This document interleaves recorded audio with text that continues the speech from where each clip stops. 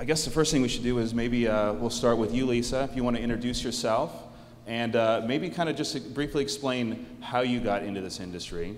Um, because I think everybody gets into it by accident. So if, I could just kind of, you know, we'll start from there. I'm Lisa Moy. Um, in this group, I'm probably the outsider because I do more television entertainment and sports work. I've done a few conventions, a few AV shows, but mostly my career is in the television industry. I started in this career, as you say, strictly by accident. I used to run the rental department at Walt Disney World. Believe it or not, they had a rental department. And I was in charge of keeping track of all the cameras. When we opened the Disney studios, there was a big hole in the wall for utilities and people that understood how cameras were set up and how television shows ran. And I jumped right in and put myself in that position, and it hasn't stopped. And how long ago is that, if you don't mind me asking? Over 35 years. Wow. So you've seen a lot of changes in the industry. I've gone from tube cameras to fiber optic digital cameras. Wow, a never dull moment. Never. Well, great. Um, Deb? Uh, so I'm Deborah Myers, and um, I've been in the industry for 19 years and 23 years overall in hospitality and meetings. Also, um, kind of got into the business by accident. I was working for two different uh, destination management companies. Prior to that, I had been at Universal Studios in the VIP tours department. And um, I had um, meetings experience working with the DMCs. Um, but I found that I kind of got bored after about two years working for a company. Um, and I just was looking around for the next uh, you know, uh, thing that I could do to keep me interested. So uh, my, not at the time was my husband, but his roommate was a teleprompter, and I bugged him for many years to train me because I felt I had the right background. I also, like Allison, have a theater background. So I felt I had the right skill set, and one day he needed somebody, and he trained me. And then it kind of snowballed from there. And I do, now I do teleprompting, graphics, audience response systems, and most recently, uh, stage managing. And I've been doing that about four years. Cassandra. All right. Um, I grew up on a farm, and one of the workers there was a rigger, a tour rigger. And so that planted the seed in the beginning. And then I went to college to become a music teacher. Uh, student taught one class with kazoos and decided that I was done. Um, I give teachers all the props in the world. So one of the guys at the college actually came up to me and said, "You should you should do audio." You should do video. And he gave me a bunch of equipment and, and said, I need you to come up with this video, this concept. We're going to do a rock opera. And if you can come up with this and, and you can show up with this, then, then you have the job. And, and it's the worst video I've ever seen in my life looking back now. But at the time, I was like, this is the best thing ever. Um, and I got into video and I actually got into rigging. So I do video, I do rigging, I'm, i do audio and lighting. I kind of do a plethora of things. But uh, my main passion is, is video switching, graphics, and, and rigging. And you're out of Fort I'm Myers, out of correct? Fort Myers, Florida. Wow. And do, you, do any of you remember your first gig and what that was like? Was it scary? Um, you know, how did, how, did you get into it by accident? And uh, once you got, you know, once you got through your first gig, were you hooked? Um, what was that feeling like the first time you were on show site? My first show was pretty much, it was a grand opening, I think, of Epcot Center.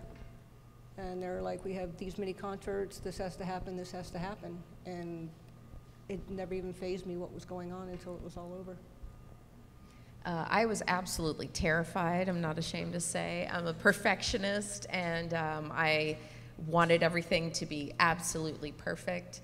Um, and I was absolutely terrified knowing that I was going into a live show situation where basically I could make or break the show if I messed something up. Um, but uh, in acting, they say if you're not nervous, then you should quit. And I kind of feel like it's the same thing. I feel like I'm nervous because I care and I want to do a good job and I want the show to come off well. Um, and I want my clients to have a successful meeting. And so I have kind of found a way to channel that nervous energy into just, you know, being excited about doing a great job and, and showing my value and, and in, in turn allowing the clients to show their value to their attendees. I was cocky. I gotta be honest. I was. I probably I should have been nervous that. my first gig. I probably.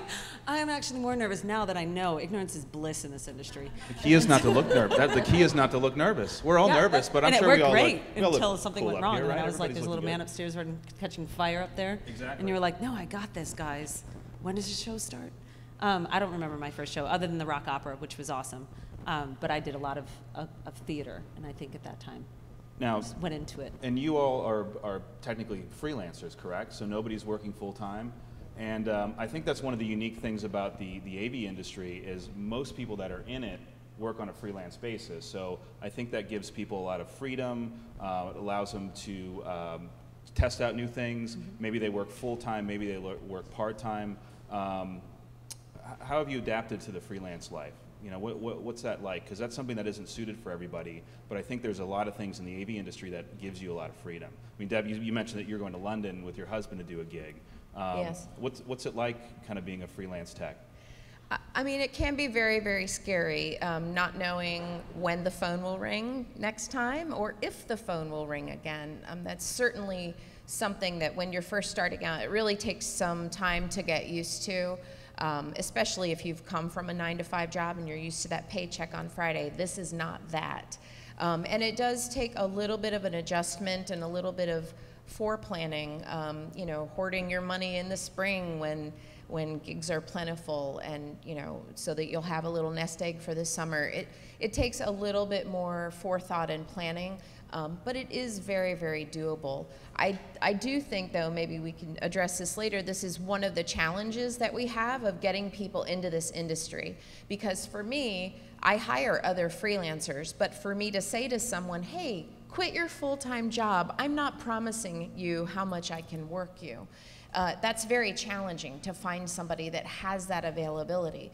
I think you need to find somebody that is, you know, maybe fresh out of school or maybe, you know, still living at home or they have a little bit of a safety net that they can fall back on if they're not, you know, booking a month's worth of gigs right off the bat. Because you're assuming, you're assuming that the work is going to come, right. but most of the time it does. I actually have a friend Right. that was recently laid off from his job. He was full time, and as soon as that happened, three days later, he was he was doing shows. Um, same thing happened to me when I was a full time tech. Uh, I was laid off within a week.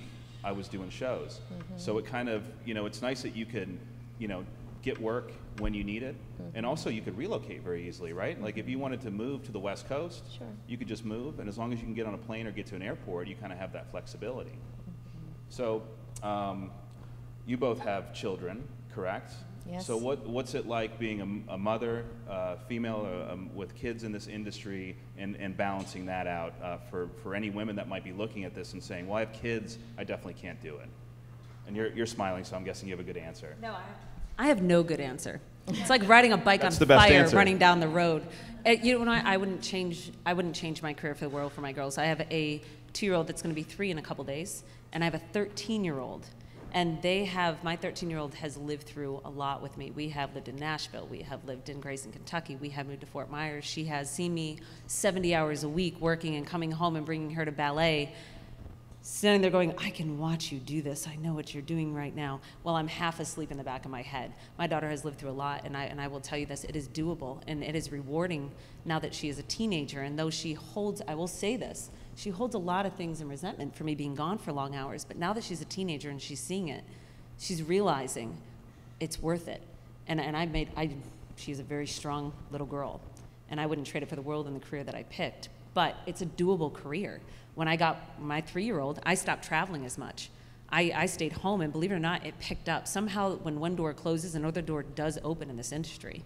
It tr- I truly believe that because I stopped traveling, which cut my throat deeply. But I said, I'm going to be home with my daughter. And somehow, a company that was right down the road from me went, Are you staying home? And I said, Yeah, no, I'm, I'm here. They were like, Let me pick you up. And now they're my largest client. Yeah, don't move to Vermont if you want to do to- this don't and, move and to be home. You know, Yeah. just uh, No, I mean you could do it in Grayson, Kentucky. I mean, I, I wouldn't. I, ne- I never did a nine to five. I actually, my mom is standing or sitting right there, and I and I I'm got a nine to five job. And I think a couple months into it, my mom goes, "You are going to quit. I don't care how much money you're making. You have no soul. Go back into freelancing.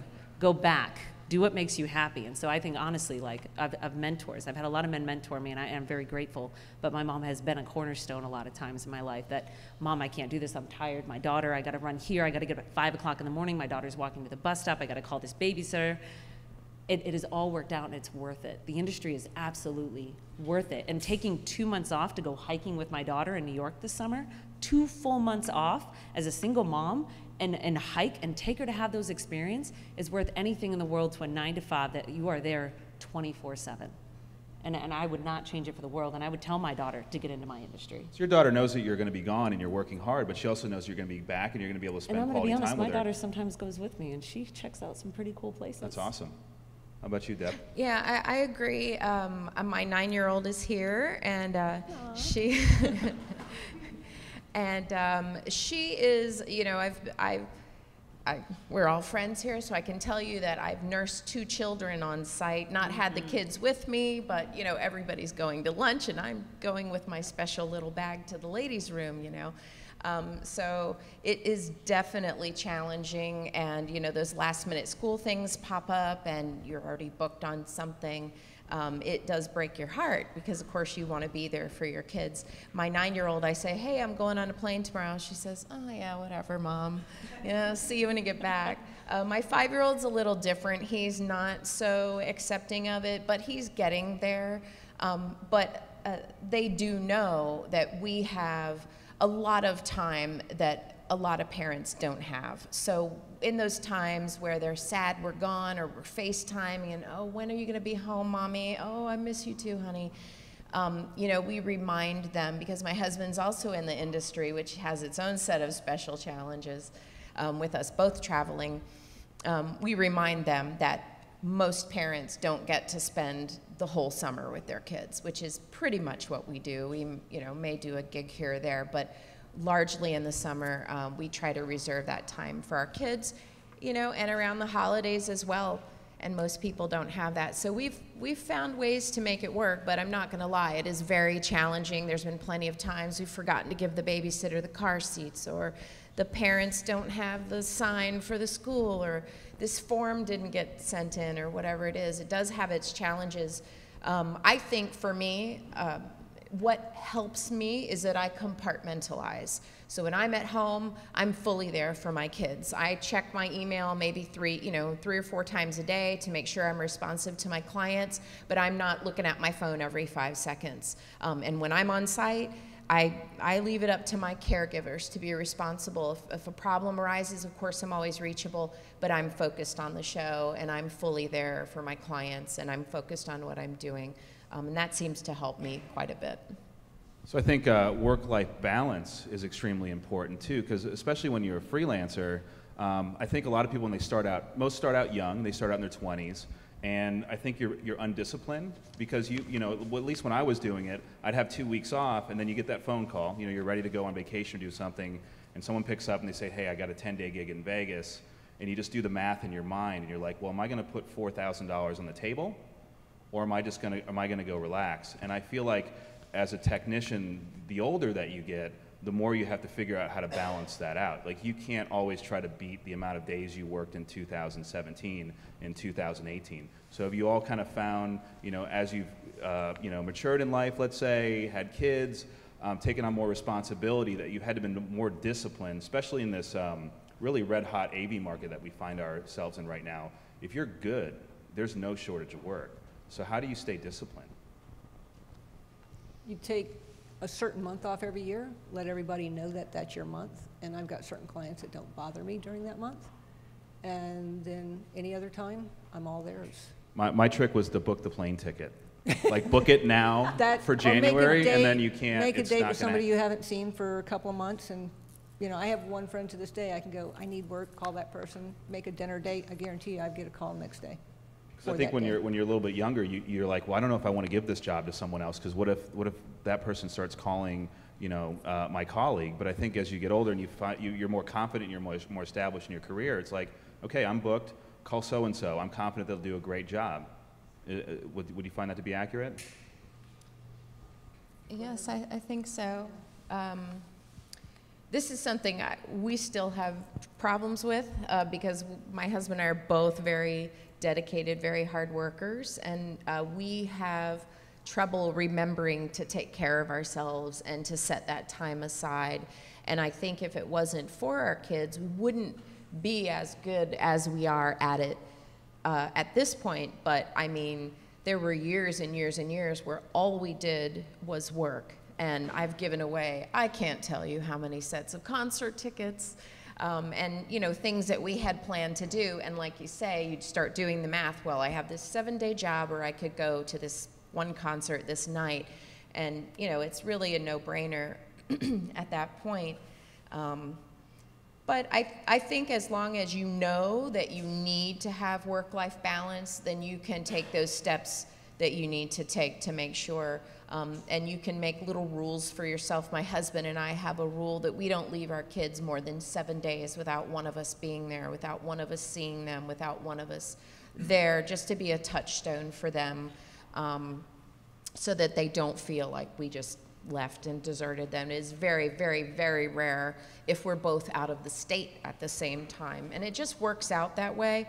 Um, and we're lucky we have really reliable childcare at this, this point in our lives.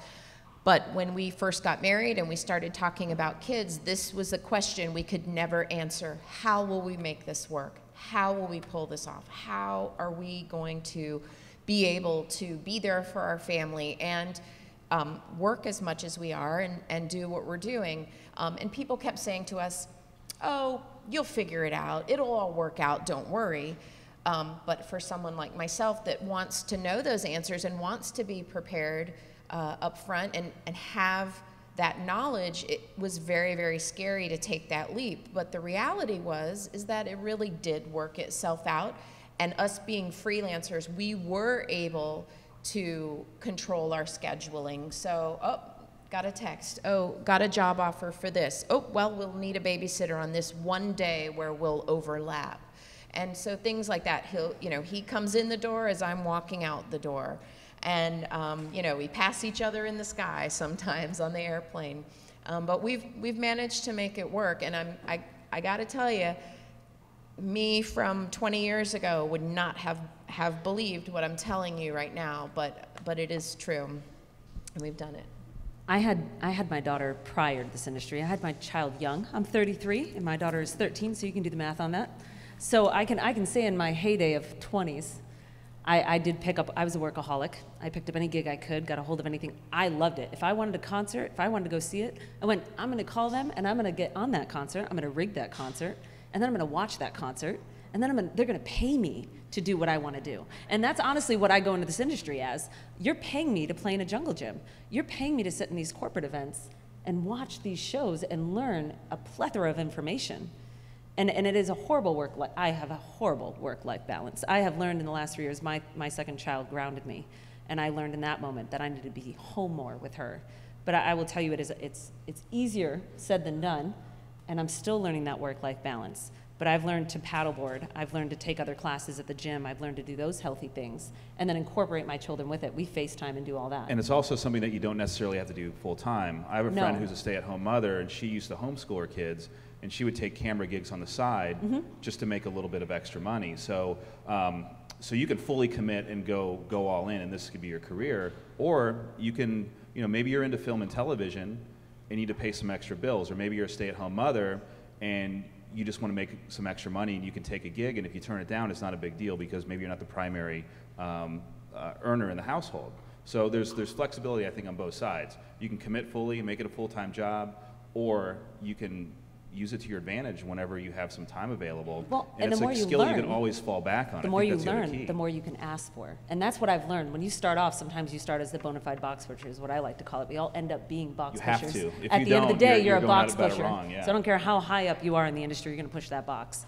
But the more you get into it, if you can learn to budget yourself in a way to not live the materialistic life, you can go out on some of these jobs and pay your entire life in a week, depending on how you structure your life when you start moving up in the industry.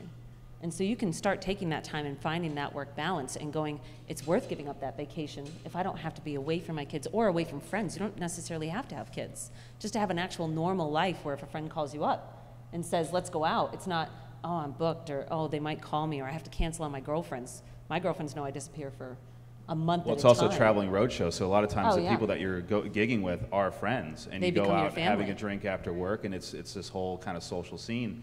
Um, I think it's also a little bit about learning to say no, and I am the worst example of that.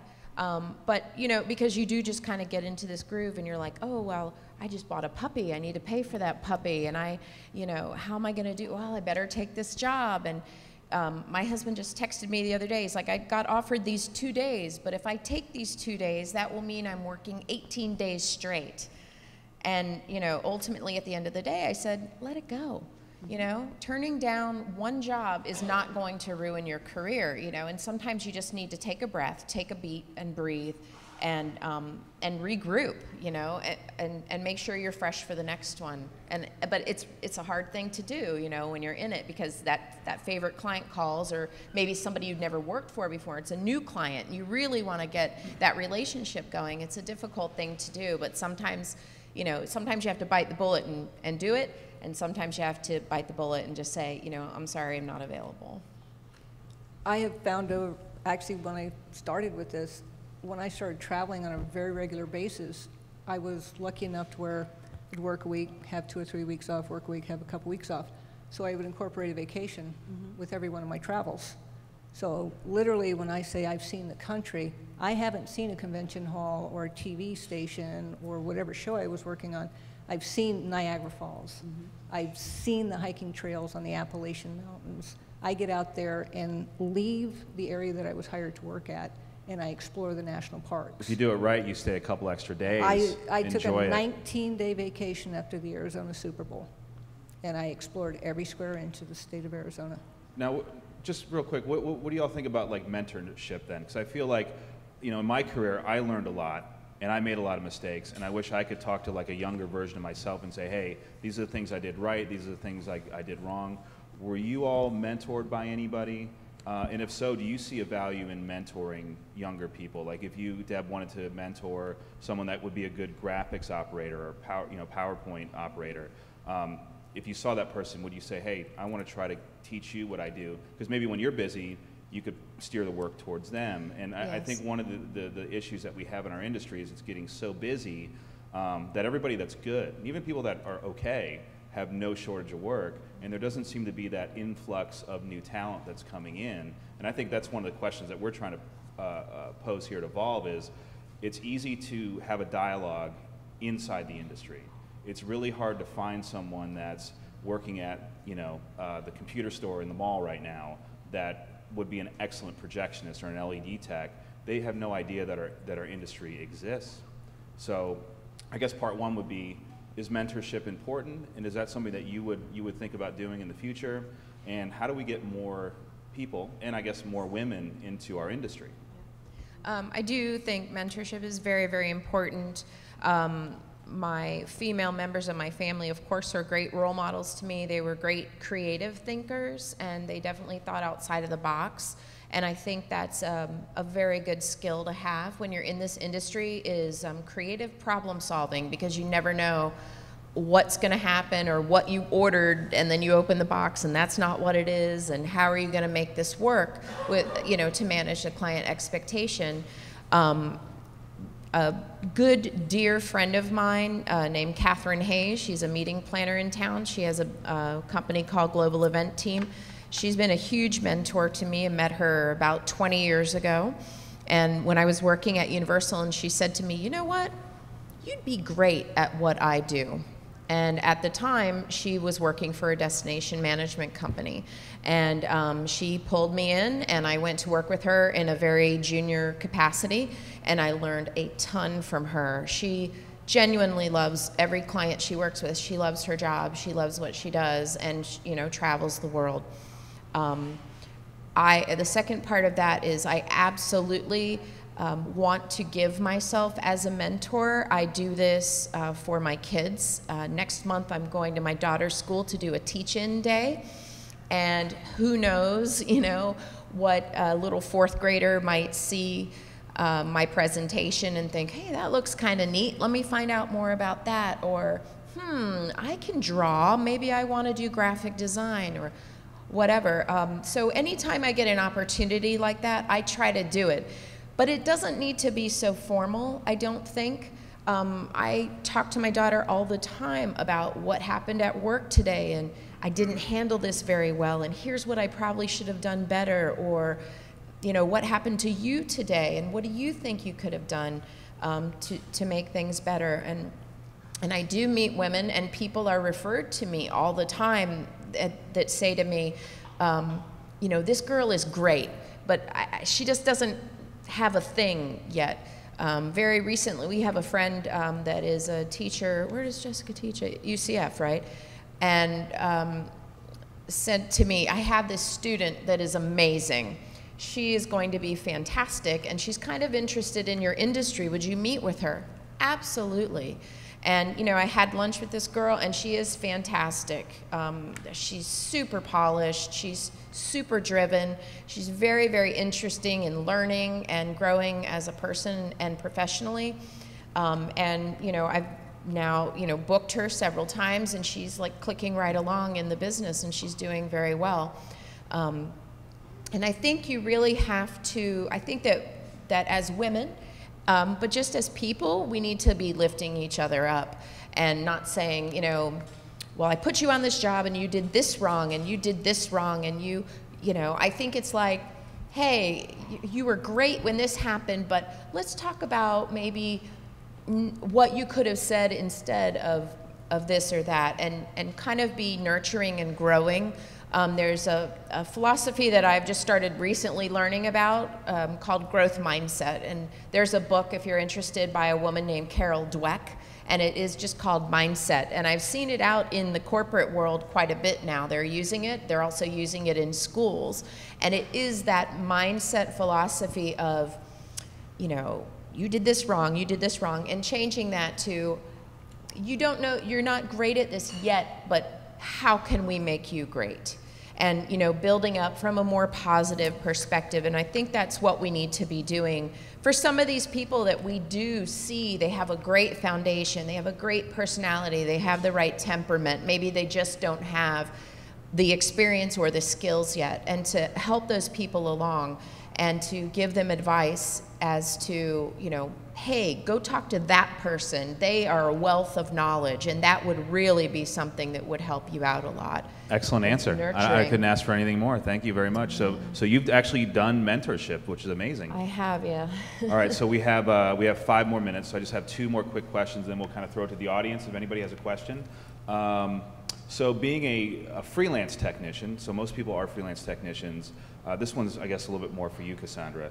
Um, your business, and sometimes you have to think of ways like, okay, next year, do I raise my rate? Do I work harder? What do I, what do, I do? And um, it's kind of a business that you can grow in different ways. And you've invested in yourself, you've invested in some equipment, some switchers. So, uh, how did that come about? Uh, was it a really hard decision? And once you did it, uh, did your customers kind of say, hey, I'd like to have you on my show and bring, us, bring some of the gear along as well? And do you kind of see yourself more offering a service other than just um, labor, let's say? So I wish it was that Skill, thought highly out. Skilled labor. I wish, I wish it was that labor, thought out. Say. Um, I I bought the S3 because Barco I wanted S3. The, okay. Yes, the Barco S3. I bought the Barco S3, and uh, mainly because I wanted to give the clients that I worked for that had smaller shows an opportunity. This is what you can really do. And this is what we can really do with your show. And this is how we can move it forward. And if I, if I invested in myself, then they'll invest in me. And, and it actually worked full circle. I, am, I own graphics machines, I own playback machines. I'm not fully a rental business. It's more of me putting it out there and honestly to make more bang for the buck if you're going to take me in, well, I have an S3 that you can come with. Oh, and by the way, I can take my graphics machines. And oh, by the way, I can actually preset your entire show and I can have it ready. So when you walk in the door and I can get the projection up and everything else, now I've sold you the show and it's ready to go. I'm not coming on site and trying to program it. I've given you a different service. And so, and I've also learned, like this year has been really hard, you know, going out it's not even on a woman's aspect. I feel like rates should be talked about, base rates, maybe a little bit more because they always talk about cheapening the market and they always talk about this is you're, you're going to come in and oh you you got paid this and you got paid that and i go yeah why was i supposed to ask for more? Can i ask about this? And i realized in the long run sometimes they'll hire you more when you hit that rate because then they're going why is she not asking for that rate Well, what am I going to get? charge, you know, charge Yeah. for the food. Don't give it away. Yeah. And, and I think it's a very taboo thing to talk about, and maybe it's something that could be talked a little bit And I think openly. in the mentorship, go. This is what a base rate should be. This should be something because this year I actually raised my rate substantially, and I've gotten more calls from different companies that are now taking me in. They're going, "Oh, now you're ready because you're charging this. You're willing to know your self worth to be worth this much so know money. your value. Know know what you're bringing. Know to the your value, yes, and and don't second guess it. You're going to know if you've screwed up. And you'll know have- if you raise your rate too much. Oh, you'll yes, get the instant you will. feedback. you, Um, you'll get instant by not getting any. So last question, just um, Deb, you had mentioned to me when we were talking kind of offline how um, you kind of have a very positive take on women in the industry and where things are going. So just real quick, if you could sum up all three of you, what it's like to be a female in the industry, how can we get more women in the industry, and what do you see the future of the industry like uh, with women being a part of it? Um, well, when I started, I, I- and I heard you say in the in the video earlier, um, you know, very few women. When I started, there were no women except for me, and you know, I walked in the door and they were like, The whole "Oh." market to yourself. I, I I mean, I- I mean, nobody but me. and um, I think at that time, my feeling was, I want to blend in. I just, I want to prove myself. I want to, make, you know, be sure that I'm, I'm just as good as these guys in here, and that I'm, you know, I'm, I'm worthy to be here. Um, was kind of my feeling, you know, don't don't make any fuss, like don't ask for extra bathroom breaks, you know, this kind of thing. As women, you know, this is what the the things that we think in our head. Um, but I think that, uh, especially recently, I've seen a lot more women out there. I've even done several shows that was all women, and there were no men on the show. Um, just because, you know, maybe the you executive can clap was at that. That's great. I mean, that, that's that's awesome. Yes. So, uh, you know, maybe the, the executive was a woman or the production, the producer was a woman and she wanted to promote, you know, women in the industry and, and was making a concerted effort to do so. And, um, and I am seeing more and more, but I think the way to get more women in the industry is talk about what you do, talk about how much you love it, talk about the other things there are to do.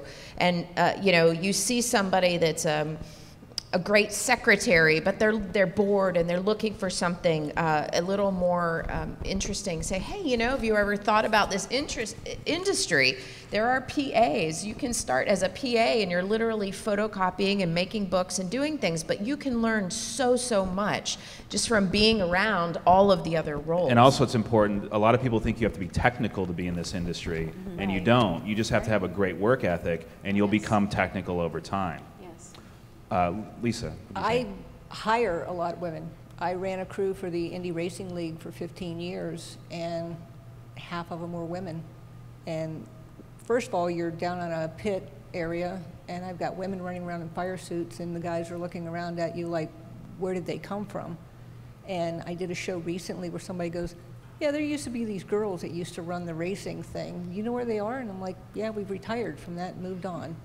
And he goes, it was always enjoyable working with y'all because it was a different mentality. It wasn't the guy shoving the guy kind of thing. I always It felt was- it brought a good dynamic to show It site. does. It just It- kind of, it just was like a nice balance. Yeah, it's a nice balance. And it, you run into some interesting situations being on the road together like that, but it also proves you as a person because I don't look at it as a man woman thing. You're going to get into some kind of mess or something like that.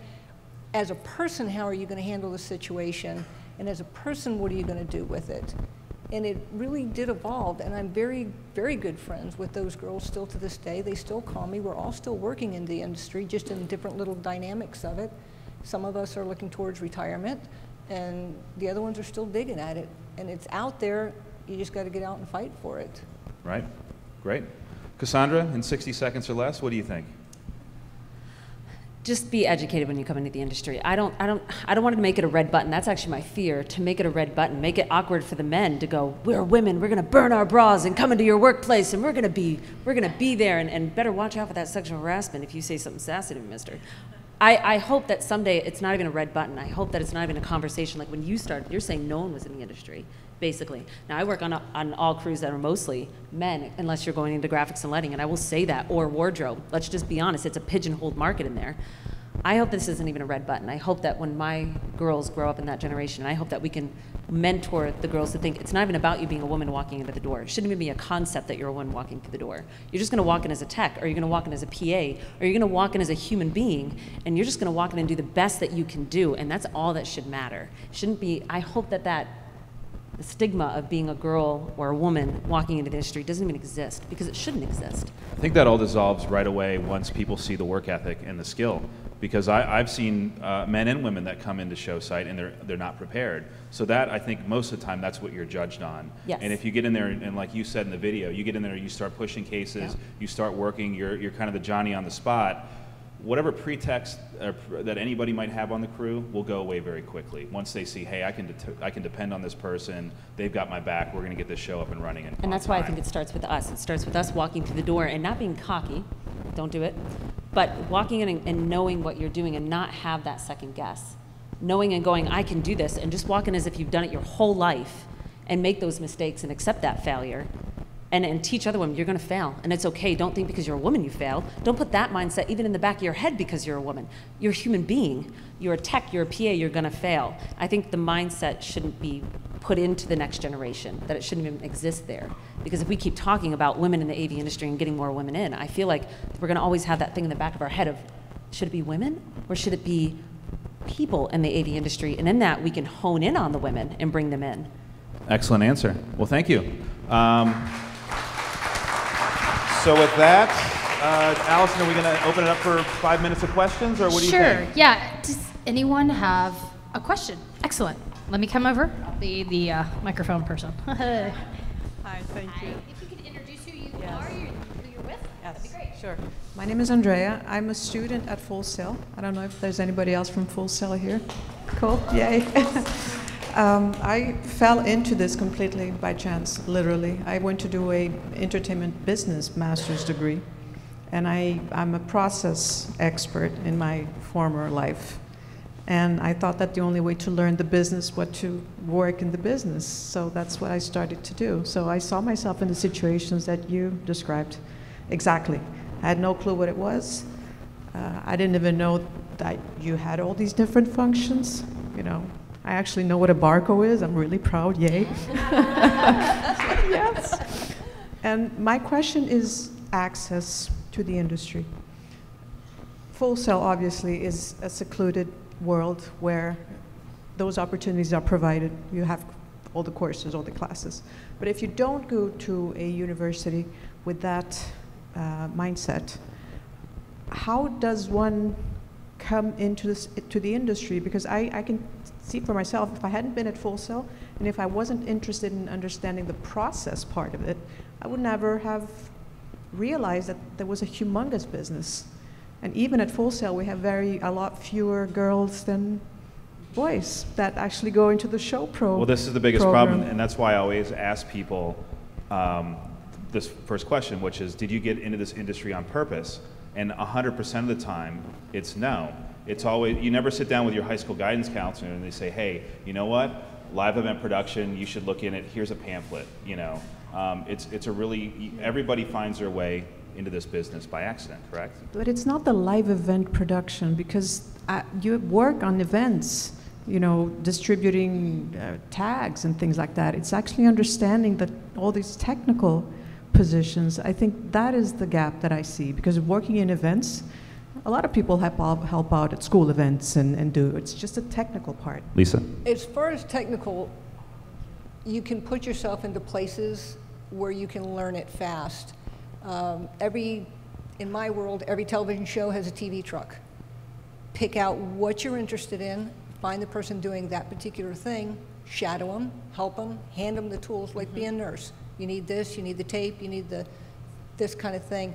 I shadowed a guy that worked for the Ikegami company there was a big recall on some cameras. I sat in a uh, soundstage with him for five and a half weeks and rebuilt computer cards. Free education, 100% free education. He took me on the road, and I helped change out a whole system for him.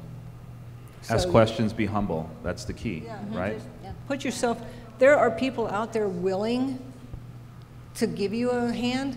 You just can't be rude about it, and you just show your interest. And they can tell if you're interested or you're just trying to buck in on something.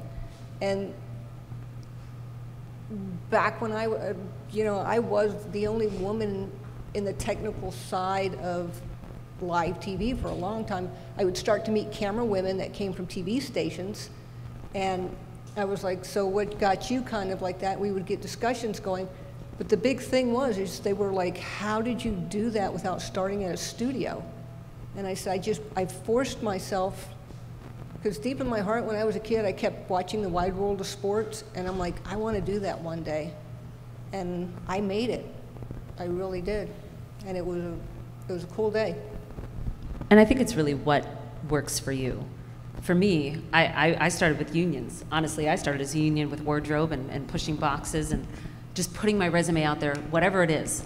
I mean, just put it out there. I, I flooded every email I could get a hold of. I know this might not be the best idea, so I'm not saying this is the best idea. But I flooded every email. I said, I will be the best cat herder you've ever seen. Because if anybody's run crews, you know you're herding cats. And so I, I just went into it going, I'll, I'll take what you can give me. And then while I was watching the boxes go by, I would go, all right, so that's an XLR. Okay, that's this. And I learned those cables and I, and I really digging the trenches for me. That's my, my journey. Everyone goes in a different journey. Digging those trenches and appreciating it as I moved up actually helped me mentor people. And it actually helped me build my skill and be able to find all those different things. But as you get into it, once you graduate, because Lord knows I wanted to go into business, I wanted to go into music business contracting. That's actually what I went to college for. I, I love ripping apart contracts. But then I got into concerts. Oh, are you going to pay me to see this concert? And then I went from concerts, and then someone said, "Oh, you could do corporate, and you could make this amount. Would you come and unload a truck, or would you?" And then you slowly being at the right place at the right time. I'm going to be honest. There are people in this industry that aren't technical at all. They were at the right place at the right time, and they took the opportunity. And it, carpe diem is a true thing in this industry.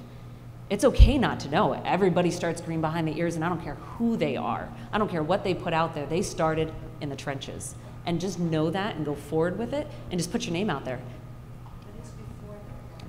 Before like getting your name out there. I, I would say um, to meet, I would say to meet as many people as you can in the industry and try to find someone that you feel is open to mentoring you and can give you advice and give you guidance and still be willing to do whatever you can Are you do. are you in Full Sail? Are you in Tampa? Kind of the situation I see. I'm a little older. I decided to change industries the middle of my career. So I'm like you. Mm-hmm. I will ask anybody. I'm the Yep. pesky person that asks the questions. You know, I'm the pesky person that asks the questions. I'm just like you. Hi. Yeah, be that He's- person. he's my But are- mentor. We but have a are- But are consensus. you but are you out of are you out of Jacob is my mentor, by the way. Are you out of Tampa? Where are you out of? I'm, I'm actually Brazilian Swedish, so I'm here just for this year. Where do you, you Where where do you want To to build your career? I don't want to build my career in the technical part. What I'm interested is the involvement of young women in the industry. And that is why I asked the questions. So I, I'm just like you. I ask the pesky questions. And Yeah. Thank God I have people that want to answer them, which is amazing. Uh, but what we see is a lot more men, boys, Mhm. signing up for programs such as Showpo, for example. Yes. So my question is, how do you motivate a girl, a 16, 17 year old girl, to understand that this is a career for women? I've had a lot of people walk up to me during shows and ask me, how do you, how do you get a job doing this? And I'll tell them, personally, I think a college education, that's where I kind of messed up maybe. I should have had more of a college education. But I went back to school and did learn a lot of things. But I tell them to check out their local colleges. And then if they're in high school, I go, surely you have an AV. Nowadays, every high school has an AV department, theater. I did drama in school. But I have, I constantly have people walking up to me going, hey, how do you get a job like this? And I tell them that the bare facts, if I've got time, I'll give them a rundown on things. But you just got to ask. I'm If he's- thinking, Allison, a, a VIXA AV club in uh, some of these yeah, art I'm magnet like, I think, might I be a good think idea. the, the perfect solution here is exactly why we're all in this room. What we're doing, what you're looking to do, is exactly why every single one of us is in this room. This is the beginning of how we network, how we get to know each other. We continue it. We've got an advantage of InfoComm being in Orlando in our backyard. Take advantage of that. Let's talk to each other. Let's push each other. Let's mentor each other. But as a, coming from the manufacturer side, to answer your question about especially the not college but high school, I want to take my company, and I would do this for any other company because I came from Barco. Go Barco, love it, love that E2. Love it. Mm, it's good times. Um, but it's it's I see the value and the benefit is going to say Dr. Phillips High School. It's phenomenal theater program. Those are going to be a very connected to go and start not only working with Valencia Community College, University of Central Florida, Full Sail University, but then also let's take it to the next next le- level down and let's get with the high schools. So and I'll as tell a manufacturer I'll tell that. you this. I actually my daughter because obviously I have two of them and one was in elementary and they got a hold of me and they said, "Hey, you know audio. Could you come in?" And that became a platform I actually taught after school. That was my work-life balance. I taught a whole bunch of kindergartner through third graders how to mix a Mackie board. I literally had little kindergartners putting up and down little faders. They, I'm pretty sure they didn't quite get the concepts of the frequencies. Okay, like I'm gonna be honest, there was some squealing going on. But there, there, there's some of them graduating now that are coming back to me and going, hey, could I get a job there? Could I do this? I, I started at a young age. I taught theater, like it was, it was Bear Club is what it was. And I taught kids lighting. I had, I had Lekos that I called local companies up and I said, I, I need, I need lighting, I need audio, I need this. And I actually, when we installed the audio in, the kids actually came in and ran the XLRs with me. You can start really young, and then those kids tell, because they're more of an aha stage, like this is really cool. Where high school, they're like, God, I just want to play video games and I, and I want to, you know, get a job and I want to get out of my house and blah, blah, blah. I started young, where they were like telling their kids, like, did you hear I ran audio? Did you hear I ran lighting? I did wardrobe. I think you could even start at that young of an age and go into schools, but it starts with us. It's us taking our time and having that work with the kids, even not having kids and, and traveling and telling. I think that's Well, the let's best not part. also, we got to remember one thing too. This is a young industry. Yeah. So it would be a lot easier if there were generations of, uh, beyond us that figured all this out and they laid the groundwork and they had the mentorships and they built the colleges that taught AV. We're the ones that have to do that, which I think is exciting, but it's also a little bit scary as well. Excellent question. I We hope have we, I another hope we one? addressed it. I think we have, We we have time for one- one another, more, one or two Another more? Another one right here, real quick. Excellent So- beard, by the way. I work at I work at Full Sail. I run the live venue. Andrea is one of the students that I have working in the venue from an entertainment business degree. We've taught her how to engineer a show. She's going to engineer a, a live television production in a couple weeks. She's directing. She's producing events for us. We're teaching her that stuff, and other students as well. But how did you get past the self doubt? She's amazing. She's don't. so good, but I suck it up, Buttercup. That's what I tell that. myself. I listen to angry women music on the way here, and he had to listen to it in the car. I, I listened to Kesha Woman when I came into here, if you even know that song.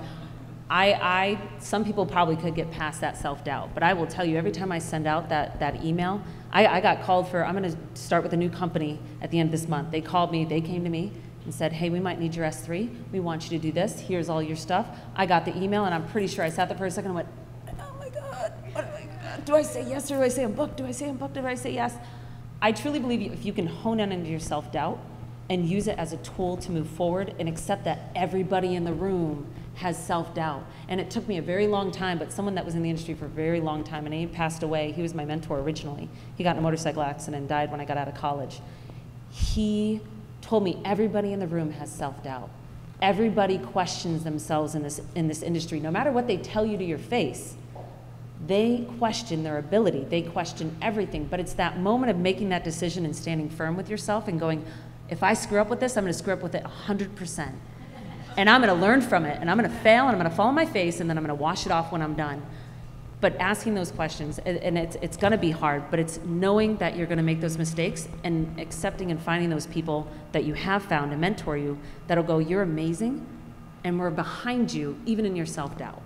Because I still have it. I mean, I've only been at it for a while. You've been in it longer, but it, I feel like I've always, I will have that. And self-educate. I mean, if you mm-hmm. feel like you're not strong at a certain thing on those days when you're mm-hmm. off, take the time and, and go, you know what, I'm going to figure this out so that the next time I go on site and I'm asked to do this, I know how to do it.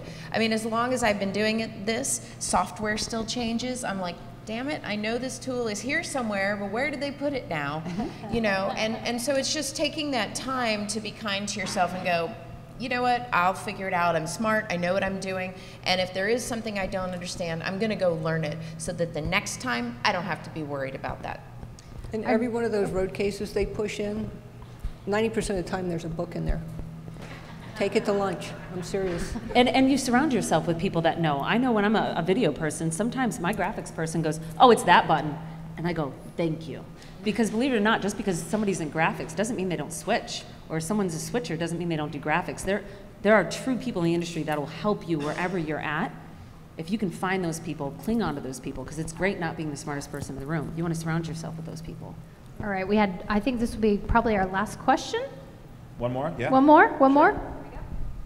Might be a good segue. Um, I'm Erica. I work with uh, Mertz Crew, and I, for a very long time, was the person calling you guys and begging you to work. so um, I come from labor coordinating, um, and I know a few people do here. Um, what I'm interested in learning um, is as a coordinator and as someone that gets feedback from account executives and people that really want to book specific people and specific jobs, um, what I found is that techs get pigeonholed very quickly into one thing and one thing only. And no matter what I do with a resume or no matter what the coordinator does with, I know this person, I trust them, we can't get that mindset out of the AE. So what is it that you guys do or what are the things that you think that maybe people that are in those roles can do to benefit you to promote you better? Great question. I can answer that one real quick because a lot of the people that I work with uh, want to move up to be camera people. Or me, I want to be an engineer or work on a truck. Women, they don't really like on the trucks. I quit. You have to. You have to quit taking utility jobs. You have to quit taking audio jobs. You have to go, no, I'm doing camera, I'm focusing on camera. And you stay with that objective. I've got a very dear friend. I never understood why he was a utility. He was an amazing camera guy.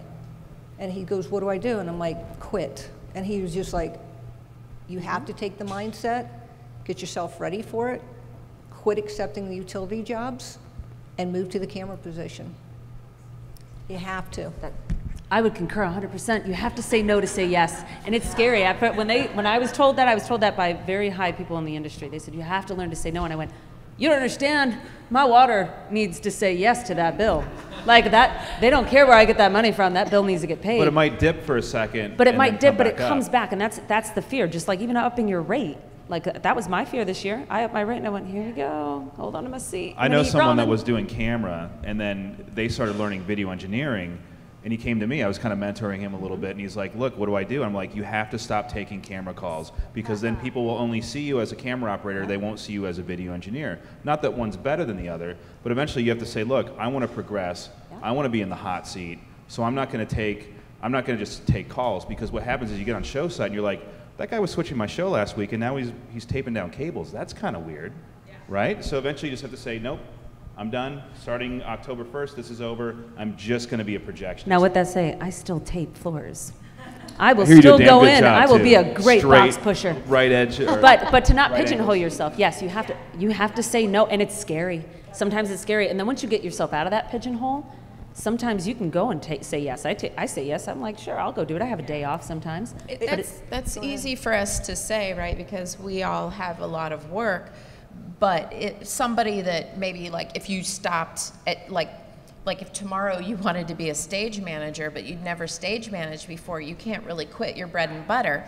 Um, you know, so f that's what I did. I, I wanted to stage manage. So what I started doing, the clients that I was really close to, I started saying, hey, by the way, I'm thinking about stage managing. I'm thinking about stage managing. Six, eight months later, hey, by the way, I've been stage managing. Hey, I stage managed this really successful show last week. Let me tell you about it. And it just kind of snowballs from there. And the more that you kind of put that bug in people's ear, if they trust you and they believe that you've done the work, that you have the skill to be able to do that job and do it well, then they will give you those opportunities. And the first time you do it and you do a great job, they're like, what was I even worried about, you know? And then they'll tell two friends and so on. Great point to end on. Great panel. Can we get a big round of applause for these ladies? Excellent job.